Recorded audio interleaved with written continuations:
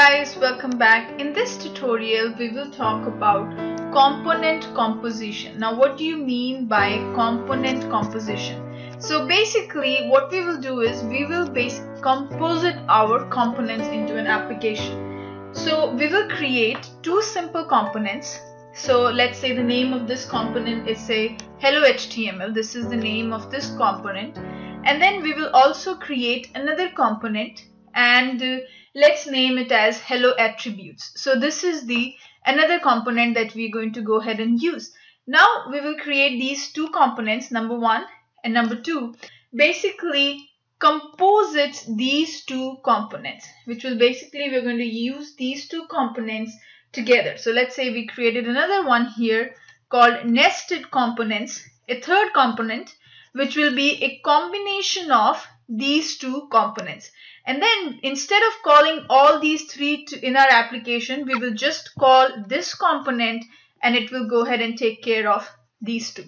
So that is called as component composition. So we will create two simple components and then we will create a wrapper component. This is a wrapper component which will basically include these two components.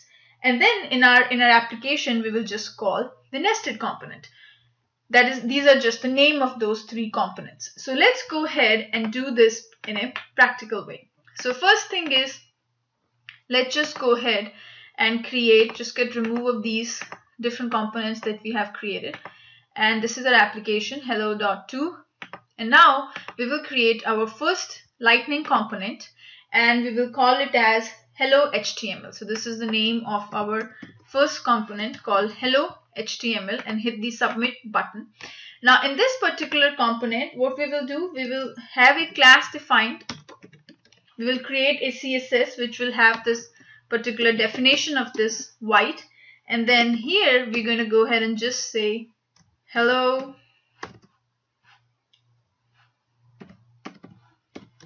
HTML. So this is our first component. And then in this particular component, I will also create another header element with the heading of h2 and we'll call it as check out the style in this list.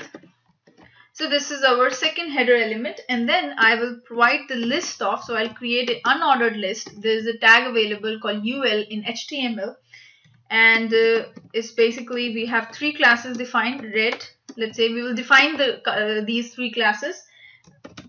I'm red. Then there's another one that I'm the list attribute we'll call it as I am green. So this is my second component. And then there's another one and I'll call it as I am blue. So let's say this is my third component. So now you have defined your first component called hello HTML now let's go ahead and add some styling to it. So how you will do the styling? So you will go ahead and click on the style button here and this is where you will define the styling. So let's say the background color that I wanted to use is let's say gray. So I'll go ahead and define my background color to be gray and then next thing is let's say I have a class and in that particular class there is something called as white is the name of the class and the background color is let's say is white here. So that is my background color. And name of my class is white. So then I'm defining another class here and the background color would be let's say red here. So we're gonna go ahead and define red. So just go ahead and change this. Let's say we have another one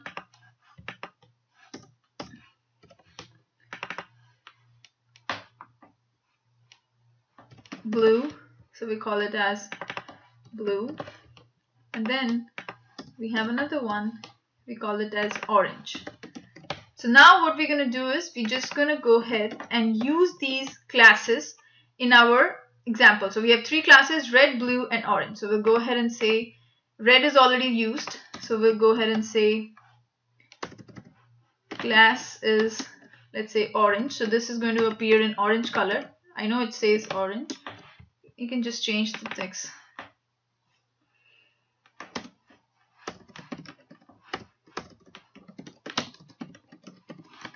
And then I'm going to go ahead and use this class which is basically nothing but the I'm going to use this particular blue here. So I'm going to go ahead and define this class. So I have defined my first component and I've added some styles to that component. Now let's go ahead and define another component and uh, we will go ahead and call it as hello attribute. So this is this is my first component. And now I'm going to define my second component. And let's say I call it as hello attributes. This is my second component that I'm defining. And hit the submit button. So now in this particular component, I have defined an attribute, let's say aura, and I'll define an attribute. The name of my attribute is whom and the type of the attribute is string. And the default value for this attribute is so the spelling is default value is Udemy. Let's say this is the default value that I have.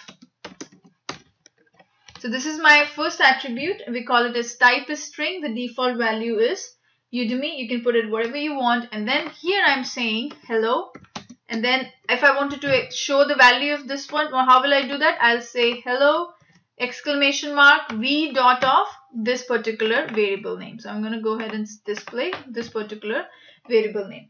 So in this particular one I have not added any I have not added any um, coloring or anything. So this is my second component now we will create a third component and that will basically include these two components. So we're going to go ahead and create another component and we will name it as nested component. So we'll go ahead and name it as nested component. So we'll go ahead and say nested. Here we're going to go ahead and say nested component. So we're going to go ahead and define, we'll name this file as nested components and hit the submit button. And this particular component will include the other two that we just created. So first thing it will include is let's say I wanted to include the this file include other components. Okay, so to call the other component we will use C as the namespace and what was the file name? Hello HTML. So I'm going to go ahead and say hello HTML this is the this particular component will get called which has all the styling and everything. And then let's say I wanted to call the other one which is nothing but the net which is nothing but the hello attributes one. So then if I wanted to call it let's say I'm going to call it by hello attributes that's the name of this. Now this hello attributes also has a particular attribute name whom so now I can provide the value of this attribute through this component as well. So how will I do? I'll say whom and then I'll name the value would be called as let's say component composition. Okay, so that's the value of this attribute which is defined in hello attributes component file. So now I'm going to go ahead and just close this stack. So this is my, so this particular component contains two different components. One is the hello HTML and then the other one is the hello attributes which is these two components. Now in my application which is this hello application I'm not going to call all of these. What I'm going to call is I will just go ahead and say call the nested component. So we'll just go ahead and say this particular file. To call that we'll just say nested components.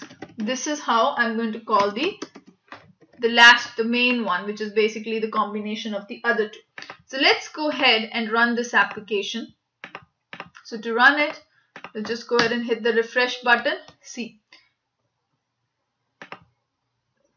So this file include other components, hello HTML, check out the style in the list, and it shows you three different tags. But the thing here is, it does not display the red and all those kind of stuff. So now what will I do here is, because